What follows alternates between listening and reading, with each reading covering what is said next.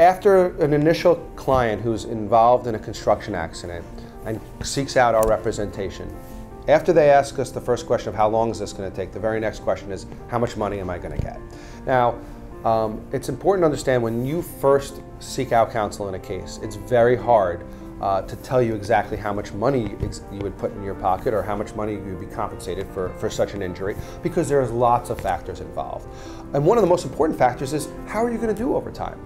Um, while we could look into the, the past medical history and we could understand what your injuries are up to this point, it's very important to just let it play out for a little bit to see how you're going to do in the future. Because it's very important that your attorney seeks out uh, good compensation, a very fair compensation for you moving into the future, for the future pain and suffering, for how your life is going to be affected. Not just for wages that may be lost, not just for future medical bills, but also for the pain and suffering that you may be experiencing 10, 15 years down the line. And while it might not be a, a non-stop uh, agonizing pain, that's not the point. Even if it's something that prevents you from doing things that you're normally used to doing.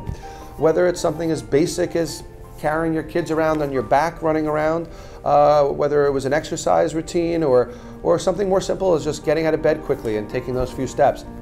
You know, it's important to understand, um, you know, how your life is going to be affected. Once that is understood, and once, you, once we have a better understanding of how you're going to be, to make sure we protect your rights moving not just now but into the future, we have a much better sense of the, the proper uh, compensation. I can tell you that it's important that you have an experienced lawyer who's going to fight for every last dollar for you to make sure that you're fairly compensated because this is your one and only chance to get compensated. There is no look backs after you settle your case or you try your case.